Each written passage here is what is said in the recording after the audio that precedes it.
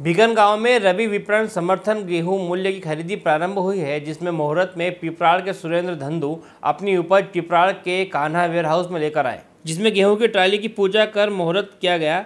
मुहूर्त में 12 क्विंटल गेहूँ लाया गया, जिसमें समर्थन मूल्य उन्नीस सौ पचहत्तर रुपये प्रति क्विंटल से लिया गया। इसमें मौजूद केंद्र प्रभारी वीरेंद्र परिहार, सिलेक्टर राहुल यादव राधेश्याम सावेर संदीप वर्मा मौजूद रहे। भिगन गाँव से पीयूष अग्रवाल की रिपोर्ट। आप देख रहे हैं हमारा channel S W twenty four news हमारे सारे वीडियो सबसे पहले देखने के लिए आप हमारे चैनल को सब्सक्राइब करें और पास में लगे बेल आइकन को दबाना बिल्कुल भी ना भूलें।